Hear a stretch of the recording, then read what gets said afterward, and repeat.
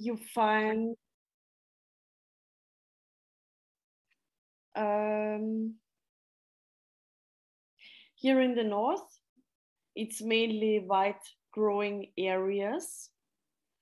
And this is because in the north we have much cooler temperatures in the night. We have beautiful warm days, but in the night, because this region is a little bit higher, the altitude, and in the night we get cold winds from the north. And these cold winds are responsible that we have a really beautiful and shiny fresh acidity. So this is perfect for white wine growing. You get a really expressive fruit because of this day and night temperature difference. And you have a really beautiful fresh acidity. And the two main white varieties here in this region are Grüner Veltliner. Grüner Veltliner is the most important white variety in Austria. And of course, Riesling is also very important. And then we have a third wine, it's not a variety that is really important in the north of Austria, that is gemischter Satz. And these three varieties, I will explain a little bit more in deep why it's so special in Austria. So I'm back. I hope the, the connection is good and that you understand me. And if there are any questions about the region itself and the differences, I think now would be a good moment to ask.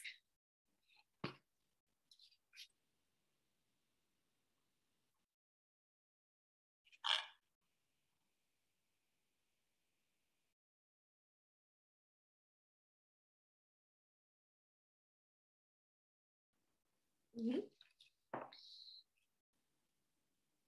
No questions via the chat or something? Okay.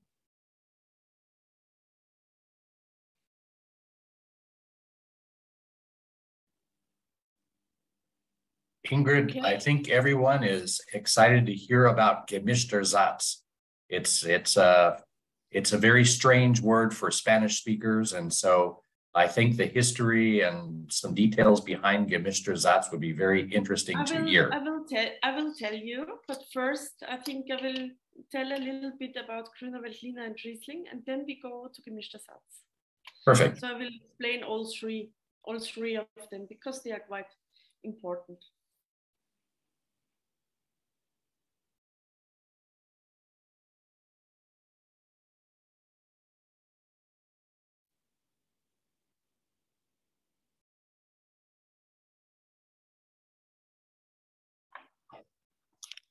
Uh, I see we do have a question in, in the chat. Uh, Joseph is asking, Joseph Ruiz is asking about uh, if climate change is having any impact on the acidity uh, in the grapes. So till now, till now, it's quite interesting because when we watch total temperature, sunlight, days, things like this, also water that we have, we don't see a change yet. Also not concerning ripeness. Here in Europe, there's the discussion, should we plant the north side of the slopes in the future or should we plant um, varieties that grow more in the south in the future? But we don't see that yet, to be honest. But what we see concerning climate change is that the weather conditions becoming more and more extreme.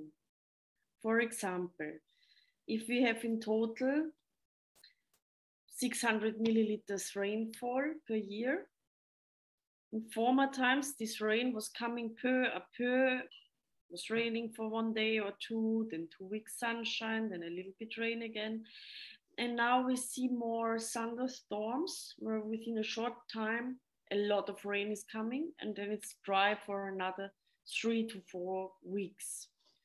So these conditions are getting more extreme, but we don't see a change concerning ripeness or acidity.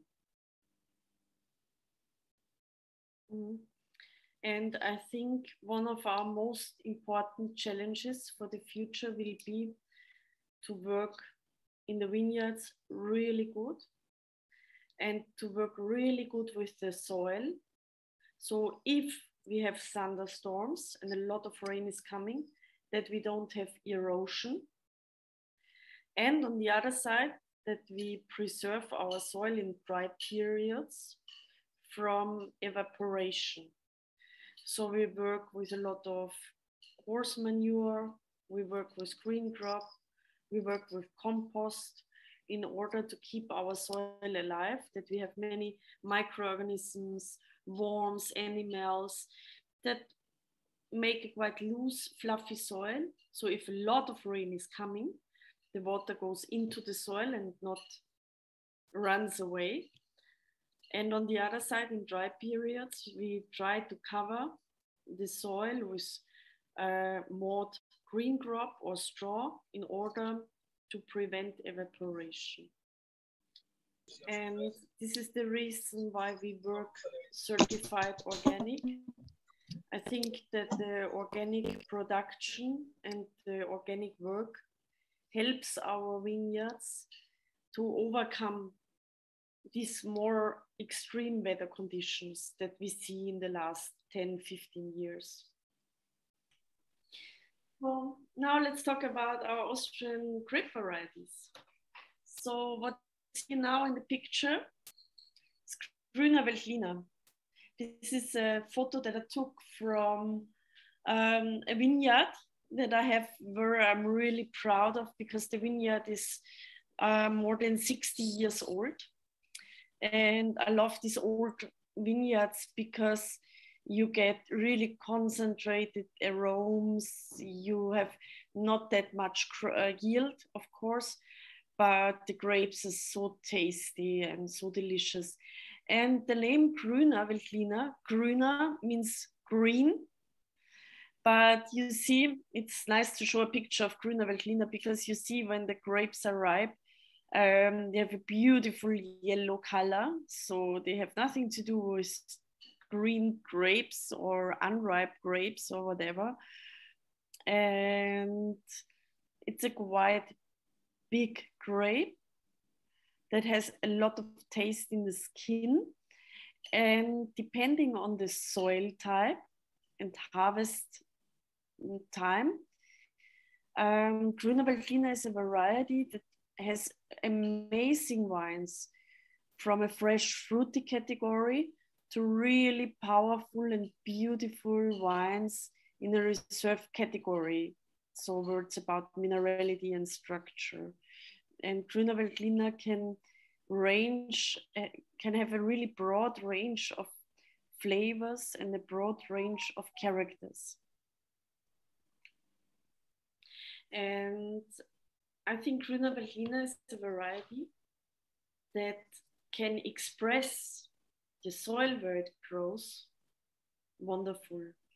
And when you think about Grüner Veltliner, it's a variety that can have this really fresh citric aromas where you find hints of grapefruit, hints of lemon, green apple, a nice savory acidity, so wines that are perfect, for example, with seafood, with oysters, with lobster, or if I think about your fusion cuisine, like a ceviche, I hope I pronounce it correct. But this is a style that Grüner Veltliner can make perfect. I would say perfect. And then on the other side, you have the reserve category wine. The term reserve has nothing to do with aging in oak. In Austria, the term reserve just means keeping longer in the barrel, keeping on the full lees, harvest really late, where you have a gorgeous uh, physiological ripeness, usually from the oldest vineyards.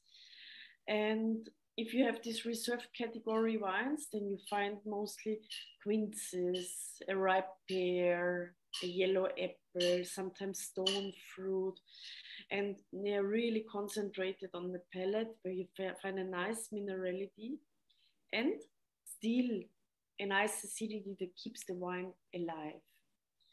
And I think a big difference to the whites from France or Spain or Italy is, and this makes Austria so special for all the white wines that we have, we harvest physiological, super ripe and tasty grapes. And even if the grapes are super ripe, we have acidity and we have freshness. And you can drink a bottle and you can still drink another one because the wines are usually 12, 12.5, 13 alcohol, not more. And this is beautiful. And I told you, Grüner Veltliner, depending on soil type and harvest date, can show many different styles. And the same does Riesling. And Riesling is the second most important white variety in Austria.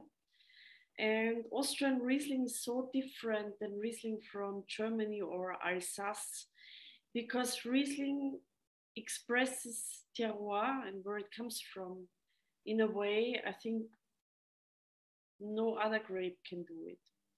And Austrian Riesling is always beautiful floral. You have these white blossoms. It's always much more playing and dancing, and it's always beautiful and inviting. And I personally think every soil has another expression. And for example, when I overtook the winery, I always said I just want to grow varieties that fit to my region and that fit to my soil. And it's very important to think about which variety you grow on which soil. And I'll show you something. Austria, um, even if it's a small country again, we have quite diverse soil types.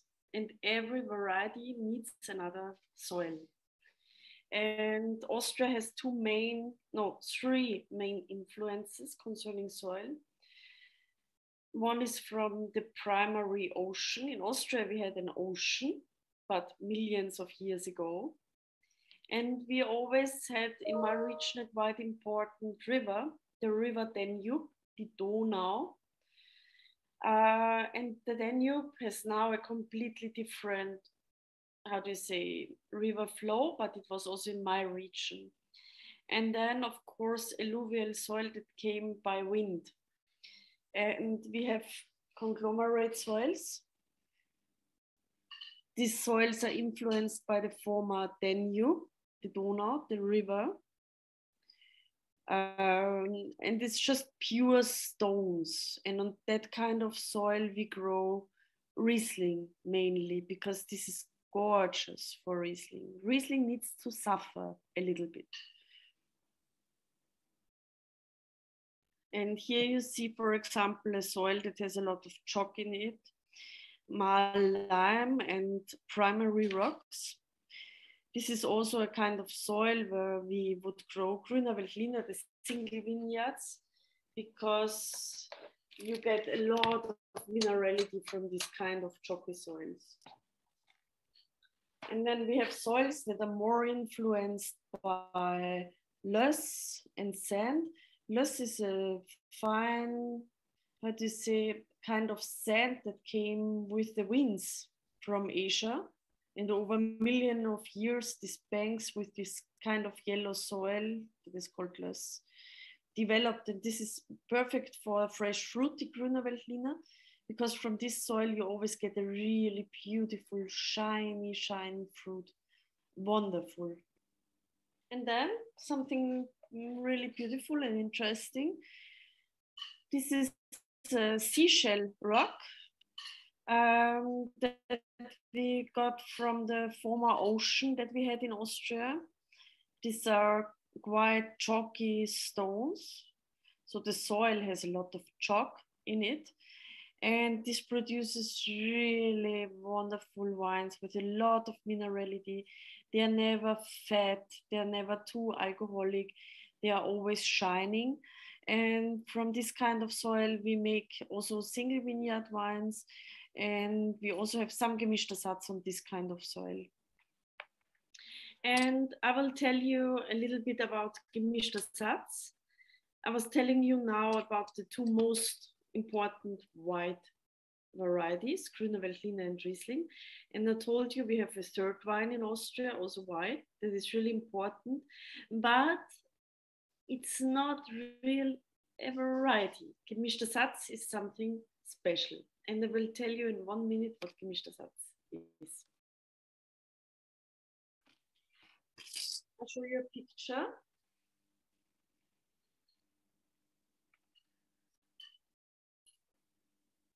This is gemischter Satz. So gemischter Satz is a äh, field blend. So that means in a vineyard, it's not just one variety planted. There are many, many, many different varieties planted together at the same time in the same vineyard and we harvest together and we ferment together. They're completely randomly mixed planted and the photo you see is a typical harvest bucket. And the varieties that look pink or red are also white varieties. It's just a little bit more colored skin but it's just white wine. It's varieties like Roter Veltliner or Frühroter Veltliner. And gemischter Satz is something really super, super, super traditional. And it's really special for Austria. In former times, 50 or 100 years ago, uh, nearly all vineyards in Austria were gemischter Satz vineyards. It's actually the most traditional way of planting grapes in Austria. So I just wanted to tell you a little bit about gemischter Satz. This is gemischter Satz. And gemischter Satz, like I said, is a field blend and it's super super traditional so in former times in austria everybody had gemischter Satz and it sounds a little bit strange to have so many different varieties at the same time in the same vineyard. In my gemischter Satz we have 17 different varieties planted. But it makes absolutely sense to plant in that way. And the reason why people planted in that way is you have to imagine in former time, wineries haven't had five or 10 or 15 different wines in the range. They usually had the house wine white and the house wine red. And for the people, it was really important that the wines became really good every year, no matter if it was a cold, rainy vintage or a hot and a dry vintage. And in gemischter Satz, they always had the guarantee that the wine became really, really good, no matter how the vintage was. And the reason why it is like that is some varieties bring the acidity, some varieties bring the fruit, some varieties bring the minerality, some bring the structure, some varieties ripen earlier, some ripen later. The potpourri of all these varieties resulted every year in a wine that was really balanced, no matter how the vintage is. So you always find fruit, you always find acidity, you always find minerality, you always find structure. And what I love, every minute you discover new aromas. So you smell to the glass and you think, well, perhaps it's Grüner Veltliner. And then you smell again and you think, perhaps it's Riesling again. No, is this Müller-Thurgau? And every minute, other fruit impressions are coming, then they're going, others are coming, then they're going, coming, going. It's always playing, always so many things happens at the same time because of all these varieties that are in the Gemischter Satz. And this is what I like about Gemischter Satz because Gemischter Satz is never one dimensional. Gemischter Satz is always really complex because it's happening at the same time. And for me, Gemischter Satz is a little bit like a chameleon.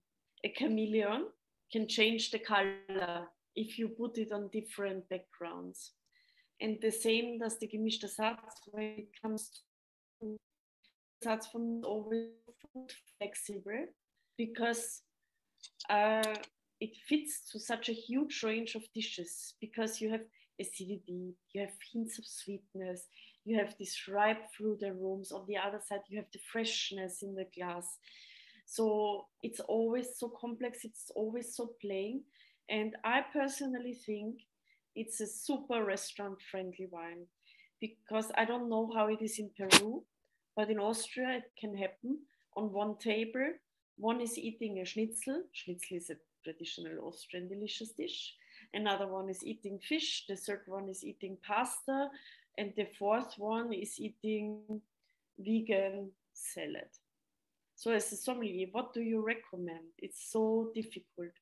And I personally make the experience that gemischter Satz always fits, no matter what you eat, except chocolate cake or something like that. But gemischter Satz for me is always gorgeous, gorgeous food partner because it's always playing, it's changing in the nose.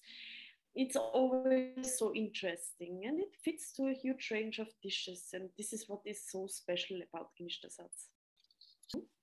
Exactly. Ingrid, uh, a question. Uh, I get this question frequently. Uh, what what exactly is Breitenbuchdorf? Ah, uh, it's the village. It's village.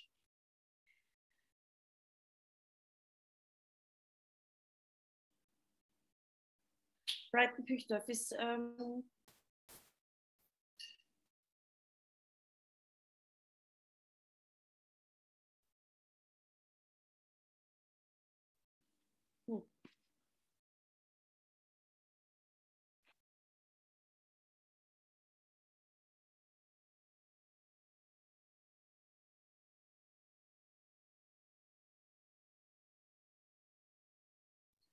Yes, exactly. Breitenbuchdorf, I know it's a horrible word. Nobody can spell it, so don't be afraid of saying it. In the whole world, everybody is spelling it wrong, but you cannot make something wrong because nobody knows how to pronounce it. so don't be scared of the name. But you know, we have the, the region wines like Grüner Veltliner Weinviertel. Then we have the village category, village, like Breitenbuchdorf. And then we have the single vineyards. So it's a pyramid. And the Breitenbuchdorf, the village wines for me are always excellent partners for food. The single vineyards, they are on top. And these are wines that are also perfect for aging, that are really mineralic, really structured. And on the basic, the region wines, wines that are really beautiful to drink, you know, where you open a bottle, you enjoy it, it makes fun. So, this is the idea about the wines. Uh, I saw that Anthony had a question. He wrote in the chat Hi Ingrid, what happens with the region colored, with the no colored region in your map? Also produce wines. I will answer the question if you don't mind. So I showed you the map of Austria. So here is no color. And here is actually no wine growing because these regions are too high in altitude. There you have the Alps, rocky mountains, and it's too cold. The vegetation period is too short. So usually it's not possible to grow wine. Of course, there are some tiny, tiny, super, super, really super tiny parcels somewhere uh, of people who try it if it's possible. But actually, you can say outside of the colored region, there is no wine growing in Austria. Yeah. Do you produce any sparkling wines? Madeleine is asking in the chat. I personally don't produce sparkling wines, but of course, in Austria, there are wonderful sparkling wines from the whites because we have a CDD. And the climate is not that different from Champagne region, to be honest. I personally don't produce sparkling wine because when I overtook the winery from my parents, I said I want to have a small range. I just want to produce wines that fit to my soil and wines that fit to my region. And each wine should have another philosophy and another idea. And I decided for myself each of my wines should get the same passion and time and love in the cellar like any other. And when you have a huge range and so many different wines, you lose focus and you lose the possibility to give each wines the same attention and the same passion. I think it's the same with cooks in a restaurant. If you have a menu with 100 pages, perhaps you lose focus and you're not having the time and the passion to concentrate on each dish. So when you have a restaurant with a smaller menu, then perhaps you just have a few dishes and you have the time to care about every dish with passion and with love. And so this is also true for wine. And this is the reason why I personally don't produce sparkling. Mm-hmm. Um, so now we were talking about the region, about Austria, the grape varieties. Uh, if you want, I can show you some expressions from my winery. And of course, it would be much better if you would be here in Austria with me, then you would see how it looks. But I'll show you. Yes. This is, for example, my village where I come from, a small, small, small, small village. And you see it's quite hilly. So Austria is not a flat country. So we have quite steep slopes where we grow the vines. And so our vines always have to suffer and to go for nutrients that are deep down in the soil.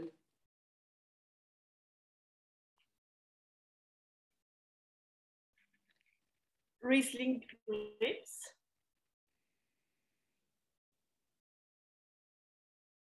Riesling.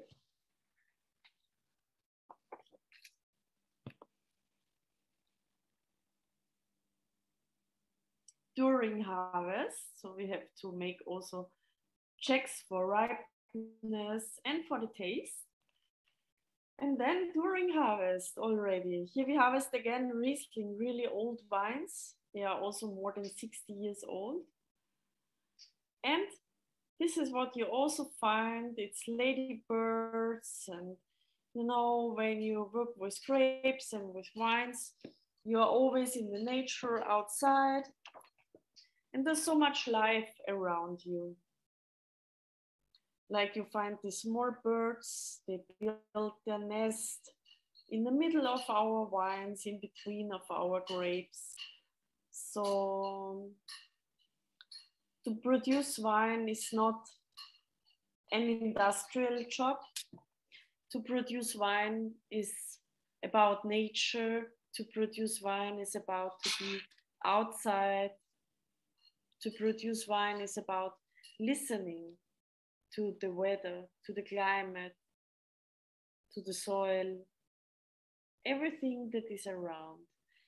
And I don't know if anybody of you ever was looking at the bottle of my winery. If you turn it, you find on every bottle the vineyard here. And below the hare, it's an Austrian text. Unfortunately, it says, Our hands are uh, the tool our soil is the origin. So for me, being winemaker is a lot about handwork, about listening, about working with the nature. Mm-hmm. And so the reason why I have the hare on each level is I think, you know, when I work, when I go out to my vineyard to work it, I recognize I'm the owner of the land and I could do with the land whatever I want. But in truth, it's not my land because all these animals, the hares, but also the deer, the ladybirds that you saw, the other birds, everything. These animals live the whole year in my vineyards. And if I go to my vineyard to work, I'm actually an intruder to their home, to their living room.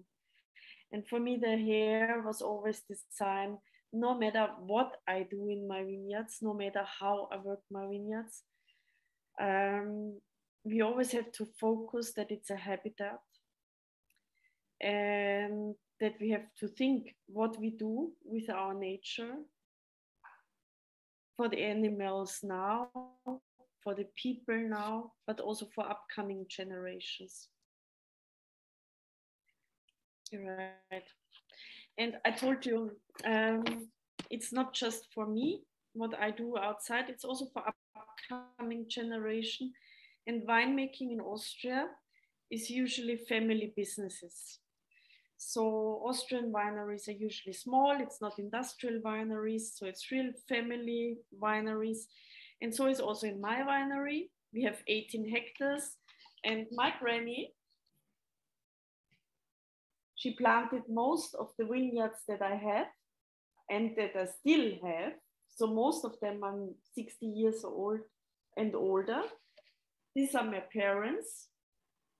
They also have to work the whole day in my winery because the lowest money, you know.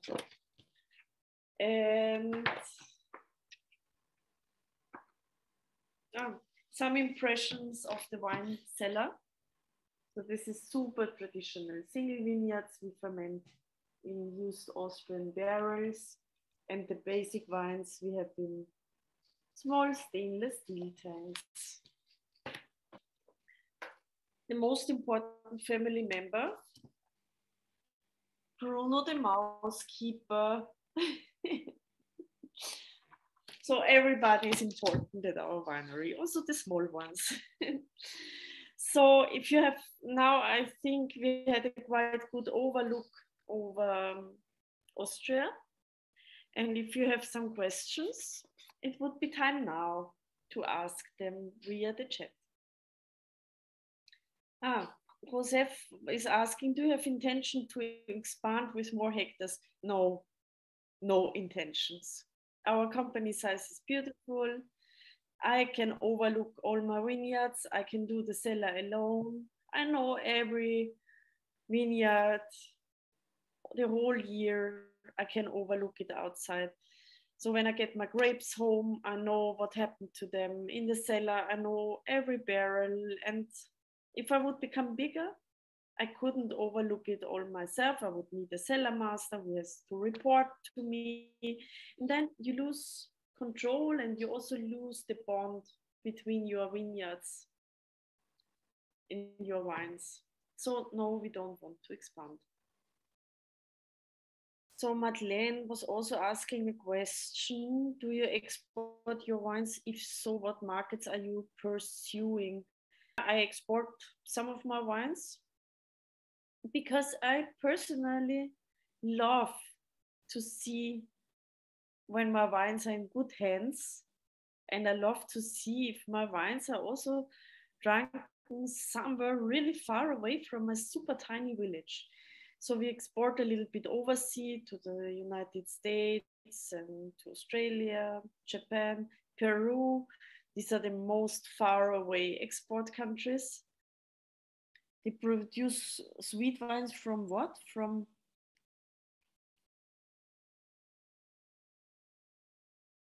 well, from from what do they produce sweet wines?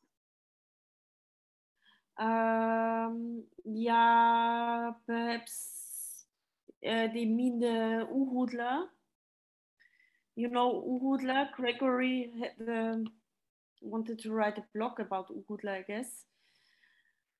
Um, it's an American direct crafted grape, but it's super, super, super small.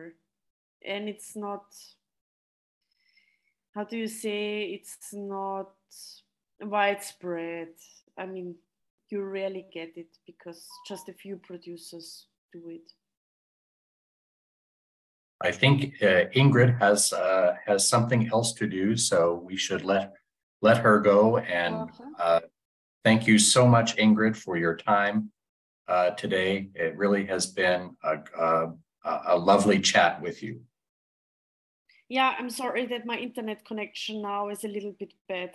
Um, sometimes I don't know. There are days where I don't know, uh, too many people at home already at this time from work and they're using the, the internet too much. I don't know.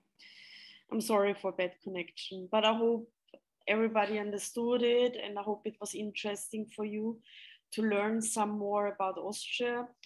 And of course, if you have any questions, you can mail me or ask Gregory. He knows everything I have the feeling about Austria. And of course, if somebody of you ever comes to Austria, you are very welcome to pay me a visit. So Ingrid, thank you so much. This has been a lovely chat with you and uh, I'm sure we will have other questions that will come up uh, after people have a chance to think about uh, the chat today. So if anyone has any questions, please, please contact me. You all have my, my contact information. Thank you, Ingrid. On behalf of the Peruvian Alliance of Sommeliers, we really thank you so much. Yeah, thank you that so many people took part today. And sometimes I feel we talk too much about wine. And I always recommend the people please try the wines, taste them, and then you will get the philosophy then you will get what Austria tastes like. What I mean when I'm talking about freshness and acidity, then you know what I mean mm, when I talk about shiny fruit, things like that. So sometimes this is much more easy than talking too much. So thank you everybody. Have a nice day. Okay. So, so thank you again, Ingrid. Ciao. Auf Wiedersehen. Hasta la vista. Auf Wiedersehen. ciao, ciao.